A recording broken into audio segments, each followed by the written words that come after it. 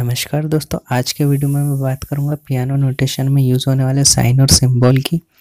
तो कैसे उनको यूज़ किया जाता है? और एंड में आप लोगों के लिए क्विज भी है तो वीडियो एंड तक ज़रूर देखिएगा। चलिए शुरू करते हैं।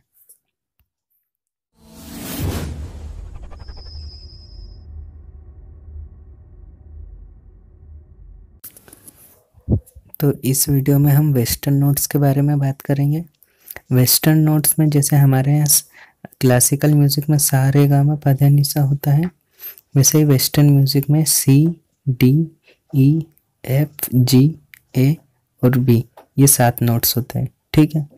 फिर सी और डी इनके बीच में जो ब्लैक की रहती है, इसको सी शार्प भी बोल सकते हैं और डी फ्लेट भी बोल सकते हैं, ठीक है?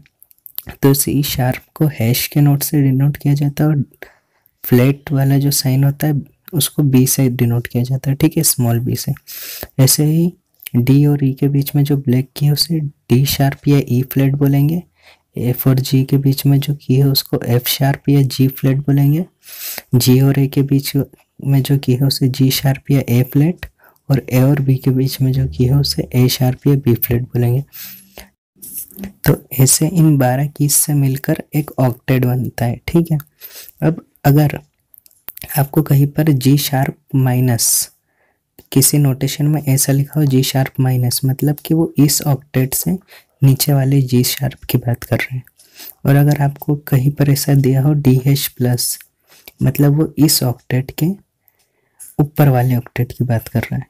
ठीक है तो प्लस मतलब इस ऑक्टेट के ऊपर वाला और माइनस में लिखा है मतलब इस ऑक्टेट के नीचे वाला है। ठीक है इससे शो करने का एक और तरीका ये होता है कि अगर सी शार्प लिखा है और उसके ऊपर एक डॉट लगा है हल्का सा, इसका मतलब वो इस ऑक्टेट से ऊपर वाला है। और अगर सी शार्प जी शार्प लिखा है और उसके नीचे डॉट लगा है, इसका मतलब है कि वो इस ऑक्टेट से नीचे वाला है, ठीक है? अगर अभी तक आपने इस वीडियो को लाइक, शेयर और सब्सक्राइब नहीं किया तो सब्सक्राइब कर दीजिए।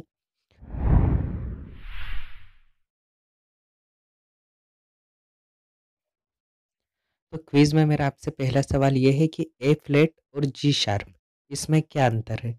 अगर आपको आंसर पता है तो नीचे कमेंट बॉक्स में बताइए, अगर नहीं पता है तो इस वीडियो को एक और बार देखिए, मुझे लगता है आपको आंसर मिल जाएगा।